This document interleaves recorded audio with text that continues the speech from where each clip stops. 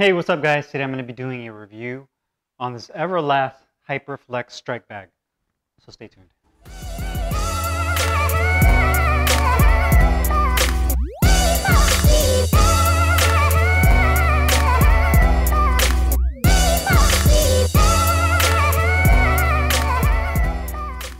Alright guys, so today we have the Everlast Hyperflex strike bag, which is basically Everlast version of a Cobra Reflex bag. I've had this for a couple weeks now. Um, I actually disassembled it just to show you guys how it comes uh, before assembly and how I put it together and then how it actually performs when you hit it. Um, this is a $80 reflex bag, so it's fairly inexpensive compared to like the ones you see from Ringside, Title Boxing, the Fierce Reflex bag, uh, Grodex, all the other brands that have a really nice reflex bag. However, this one works differently, which I'll show you here uh, based on the spring placement of this particular bag. So just to show you what it includes, it comes with the plastic base that you can fill with water or sand. If you fill it with water, it's 65 pounds. If you fill it with sand, it's about 95 pounds. It does come with this plastic cap. You can see I already have it filled up with water. That plastic cap screws down, and then it has these machine screws, uh, screw holes right there uh, for that. So you have this base, it's pretty much exactly the same as the ringside uh, Cobra Reflex bag based. And then you have the actual bottom spring right here, which is pretty nice, heavy duty. You do have that base plate that attaches to the bottom. So that actually goes right there and the screws go on. From there you have the bottom pole, uh, which has adjustability in terms of what portion you can use as far as the spring goes, which I'll break down here in a second. The screws, the Allen wrench it came with, the top pole with the adjustment, adjustment knob, the foam collar uh, that this actually screws into. So you can see that the pole screws into the bottom of this foam collar that's threaded. So the actual pipe itself is threaded. And then this top bag is actually made of a solid foam. Again, very similar to the ringside bag where it's not inflatable. So it's just a solid piece of foam, although it is a little bit softer than the ringside bag. So that's everything that's concluded. I'm gonna go ahead and put this thing together and then we'll start using it. Okay guys, so I'm just gonna go ahead and put this together real quick to show you guys how it's assembled.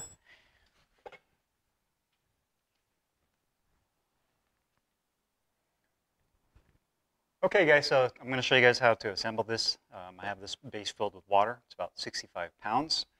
Gonna go ahead and put the bottom spring on, which mounts on. Then it just comes with these four Allen head screws that screw in. Just get these started real quick. Screw these in. And this is basically just what mount, mounts this bottom spring plate. Just tighten this on real quick. And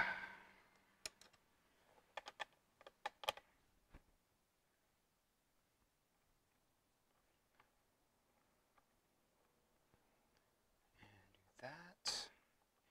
Now this is a bag that a lot of people have wondered about just because it's fairly inexpensive compared to the other bags at about anywhere between 75 to $99 just depending on where you purchase it from. And it's a little bit more readily accessible. You can typically get this like at a sporting goods store like big five. I think here in the states they have you know big five uh, dick's sporting goods. You buy it online And so it's a little bit more easier to get. The drawback I think I've seen is the performance of it. You know, not a lot of people like that has this bottom spring and they feel that it takes away from the actual reflex and the rebound of the bag. But that's what this video is for, to kind of dispel any myths or questions you guys may have about it. So next is going to be this bottom pull. It's threaded at the bottom that you can see here, and this actually screws into the bottom spring plate. So let's go ahead and screw that by hand. So that's nice and tight. It's on there good. And then next is going to be the top, uh, the top piece right here. And this actually just slides into the pole and uh, has this little locking adjustment screw that you can use to adjust the height with and then tighten it from there. So that's pretty much everything. And then from here, all we have to do is adjust the height to where we want it and, and start to hit it. There's three different settings, which I'll explain here in a second as well. Hey, what's up guys, Carlo here, and today I'm going to be doing a review on this Everlast Hyperflex Strike Bag, which is basically Everlast version of a Cobra Reflex bag. Now this has been one of the more requested videos that I've been getting, uh, mainly because this is one of the more inexpensive Cobra bags uh, prices around 75 to $100, just depending on where you get it from. I got mine from Big Five Sporting Goods, which is a, uh, smaller sporting goods store here on the West Coast, like California, Arizona. Uh, I believe just all around the West Coast they have these stores. Dick's Sporting Goods, and I think even Walmart sells this online. So it's uh, fairly easy to get uh, a hold of, fairly inexpensive, especially if you're comparing it to like Ringside Title Boxing that has their own Cobra Reflex bags, which usually start around 250 bucks on up. And then you have the more premium products like the Ryan Garcia, the Fierce Reflex bag that his family came out with, which is about $500. Um, and then you also have Grodex, uh, which is a company out of the Bay Area that makes high-end um, punching bags, but they also make a Cobra bag now, which is about $500 plus shipping as well. So granted, those are probably nicer quality in terms of just the overall build and durability. Uh, but not everybody has $500 to spend on a Cobra bag, or even if they do, they just don't want to spend that amount of money on a Cobra Reflex bag. So here you have it. I've had it for a couple of weeks now. I uh, have a real good idea of how this thing works, and uh, will kind of give you guys my feedback on whether or not it, I, I, think it's worth the price uh, to get this, or just to spend a little bit more money and get yourself another Cobra Reflex bag. So the first thing, like I showed you guys earlier, I actually disassembled it and put it back together. That way you guys can see how it how it assembles is you have the plastic base you can fill with water, which is up to 65 pounds. If you fill it with sand, it's 95. Um, it bolts down with a couple, like four machine screws with Allen head. Then you have a spring at the bottom, uh, which is advertised as straight flex. So it comes with this little laminated piece of paper to kind of tell you how it works. But straight flex, and you can see it actually pivots from the very bottom. From there, you also have a, a height adjustment knob. So you have uh, the lowest setting being 55 inches, the highest setting being 67 inches. So I'm 5'8", I'm about 68 inches in height. Uh, so that's right about here. If you go up any higher than that, the pole is going to come out of the base. Um, so if you're a taller individual, you'll have to put this base on top of something to elevate it higher. Um, otherwise, you're going to be punching downwards, which defeats the whole purpose of using this piece of equipment. Um, so keep that in mind. Uh, then from there, you also have this foam collar, which covers the spring for the upper portion, which they call speed flex. So the ball itself actually bounces around too.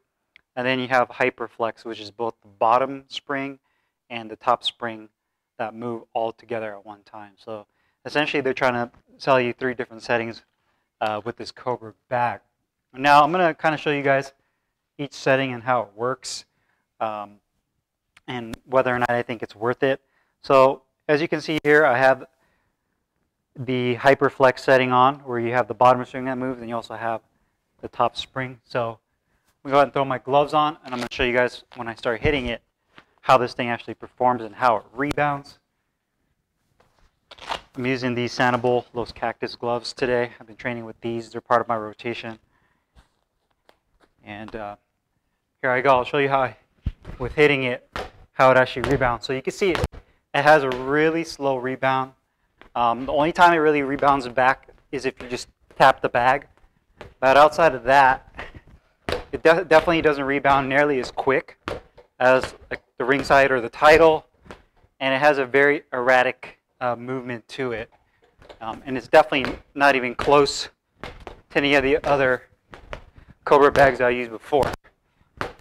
The redeeming quality about this, if I were to pick something, actually two redeeming qualities with this, is if you're looking just to kind of go with power, straight shots, and time it coming in, then that works pretty nicely because you can kind of work on just the erraticness of it.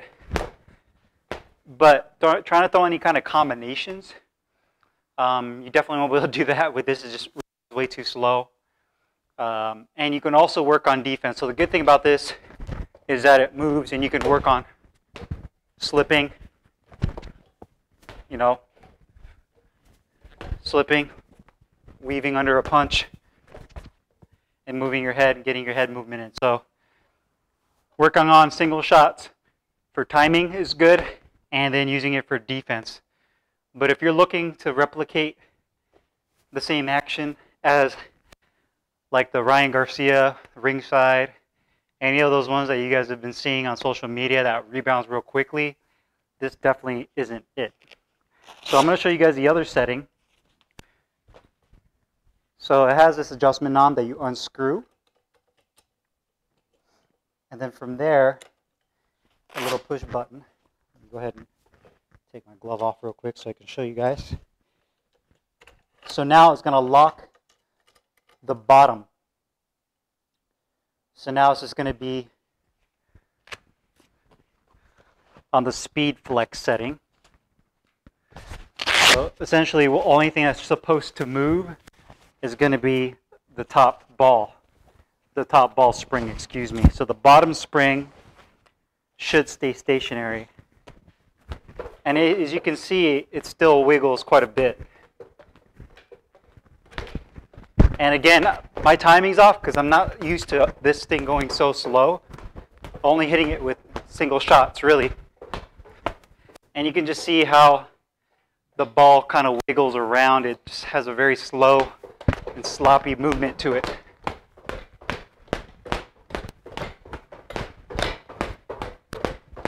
The ball is definitely a dense feeling ball.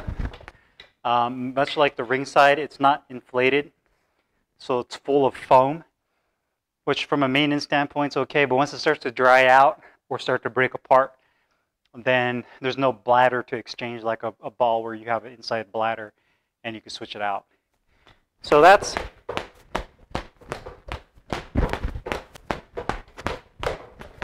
the speed flex setting. And again, you can see the bottom base isn't very stationary.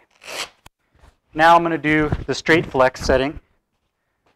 And that's going to be where just the bottom portion, or should I say the bottom spring, moves. So now I'm going to lock the top. So just unscrew that adjustment screw. Slide that up. Now this will lock the top ball into place. And then I'm going to unlock the bottom. So now the bottom spring is the only thing that moves. Put my gloves on real quick. Guess I could do this without gloves, but whatever, I'll just use my gloves just to show you guys.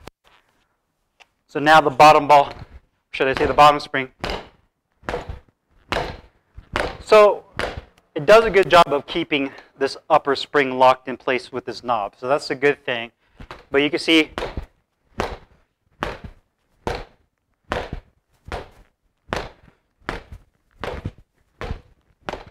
this is definitely more for just single shots.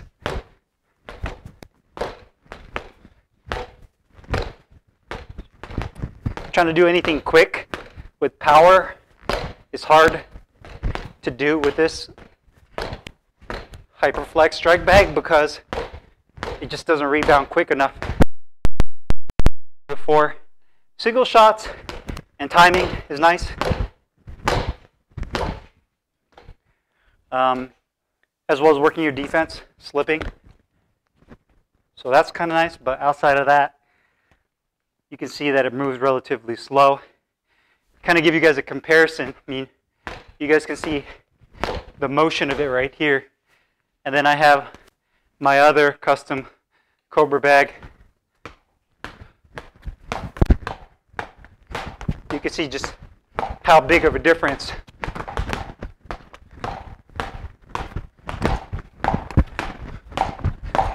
from a speed perspective that this moves compared to this one. So hope you guys enjoy the review of this Hyperflex strike bag. Um, you know, for 75 to $100, yes, it's an expensive, but the quality of it's okay. Having aluminum, I've heard some people that had issues with the bottom breaking. I haven't had mine long enough to break it, nor do I throw haymakers at it as well. So, um, but my main concern is just the way this thing moves is just way too slow for my liking. Um, I already told you guys about the redeeming qualities of it being good for defense and single shots, but I would personally just save up a little bit more money and get yourself a reflex bag that moves quicker. That way you can work on your timing and your speed much more effectively than this bag, in my opinion. So if you guys have any questions or comments, make sure you guys leave them down below in the comments box. I'll put the link in the description box. We can find this Everlast Hyperflex bag. See you guys next time. Peace.